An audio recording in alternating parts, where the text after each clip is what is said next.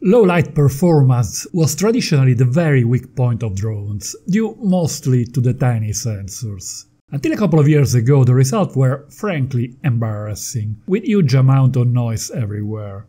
Things have improved a lot with the last generation of DJI models, especially with the Mavic 3 and 3 Classic, with their larger 4 3 of an inch sensor, and with the Mini 3 Pro, thanks to its very wide aperture of f1.7.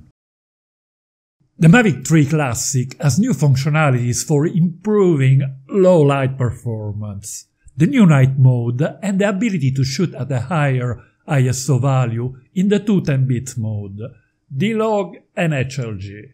These features have been added to the Mavic 3 via firmware update, so the two models are now practically identical, the only difference being the telephoto lens. You will find an unexpected surprise toward the end.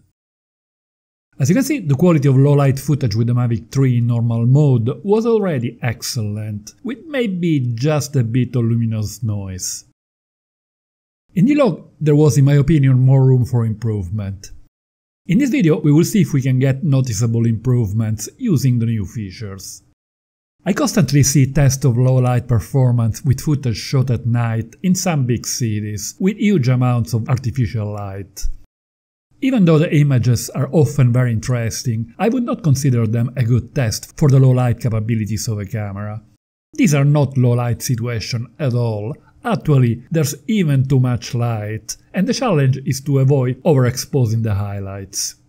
The shadows will always be completely black, regardless of the ability of the sensor. To test the ability of a camera in low light, I prefer to shoot about an hour after sunset, with the last bit of twilight. I choose a scene with a limited amount of artificial lights and plenty of unlit areas with vegetation, the sea or the sky. Under these circumstances, there will be different degrees of dark areas, and it will be possible to test the ability to reproduce them properly and to recover the shadows. The whole process of a sunset here in Sicily is much faster compared to areas farther up north.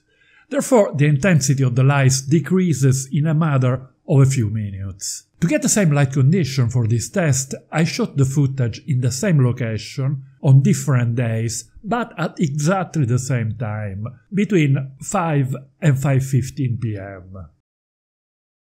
In normal mode at ISO 800 the footage looks extremely good. There is plenty to tell in the shadows, the colors are very rich and pleasant, and there is not a hint of noise. It looks almost like daylight in cloudy condition, but believe me, it was very, very dark. Here they're trying to cut energy bills as much as possible, so if the artificial light is on, it must be really pitch dark.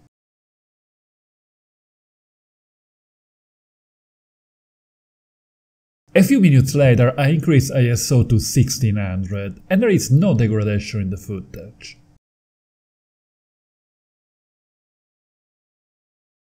The detail and the colors are still excellent and again hardly any noise at all. Just the first hint, but very hard to notice it. At ISO 3200 we start to see a very slight loss of quality. The detail is not as rich as before, although still more than acceptable. The same goes for the colors. We start to see the first hint of noise, but it is still very well controlled. I would probably prefer to use ISO up to 1600, but if needed 3200 is still very usable. At ISO 6400 there is no degradation at all compared to 3200. The footage is still excellent. Comparing it to other footage taken a few months before, I have the impression that the quality of normal mode at high ISO has improved a lot. And this is not a surprise, as with every update of the Mavic 3, I have noticed increased quality, both for video and photos. Let's try now the new night mode, although it's not going to be easy to get further improvements over the excellent normal mode. Don't forget to hit the like button if you find this video interesting, it really helps to spread it to more viewers. We access the new mode through the main photo video menu above the shutter. We notice that the image punches in, as there is a slightly tighter field of view. We get a message saying that obstacle avoidance is not available, but it is not a big deal, as in low light the sensors do not work anyway. This mode is available only at a resolution of 4K and a frame rate of 30 frames per second. The maximum ISO value is 12800 and there is some noise reduction automatically applied. The first thing I notice is that there is absolutely no noise whatsoever, and this is remarkable at such a high ISO.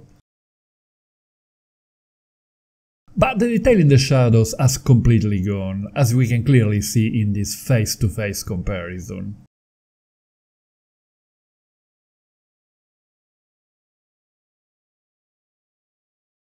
The noise reduction looks very aggressive and there is something fake in the buildings. They look a bit plasticky. In clip the sea looks like a blob blue without any waves or reflection from the sky. This night mode might be interesting for users who don't do any post-processing and need to use some night footage just out of the camera, maybe for social media.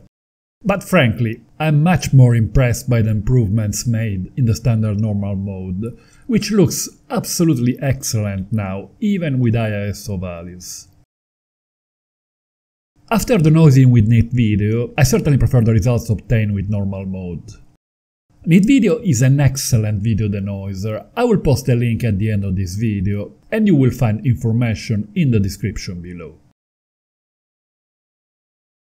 Another new feature is the increased maximum ISO value for the two 10 bits mode, D-Log and HLG.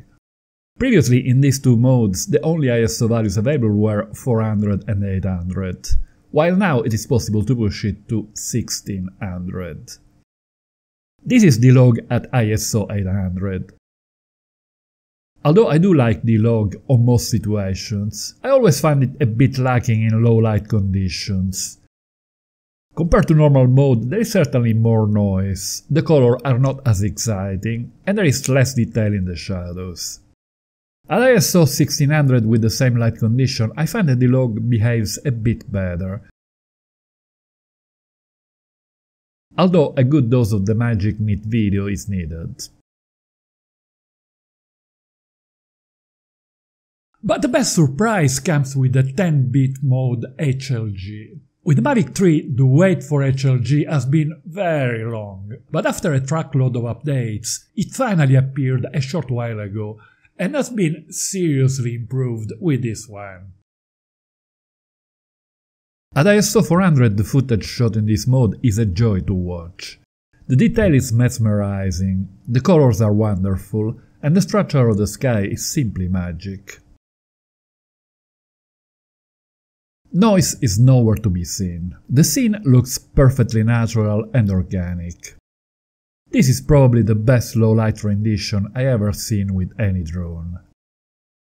Let me reiterate one more time that it was very dark, although it might not seem so, as the 4 thirds sensor is able to make the most of the tiniest amount of light. At ISO 800 the footage is still very good, but part of the magic has gone. There is some noise both in the sky and in the dark areas. The detail and the color have lost part of the magic powers. At ISO 1600 there is no real degradation compared to 800. My suggestion is to use HLG at ISO 400, which does a sensational job in most low light situations. If a higher ISO value should be needed, the choice is between normal and HLG, according to personal preference. Even though the new night mode failed to impress me, and it is probably still a work in progress. The quality of low light footage with the Mavic 3 and 3 Classic is now absolutely excellent. Click on this link to watch my analysis of Neat video, the best footage denoiser. And don't forget to hit the like button if you found this video interesting. Thank you.